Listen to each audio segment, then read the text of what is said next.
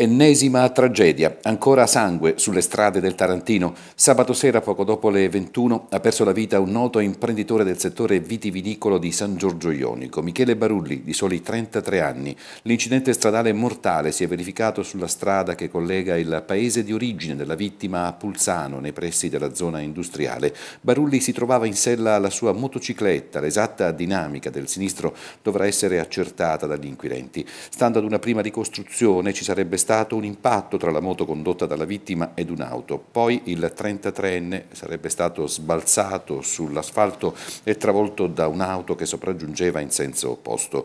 Barulli è deceduto sul posto. Per i rilievi del caso sono intervenuti i carabinieri coadiuvati durante l'intervento dai vigili del fuoco del comando provinciale di Taranto.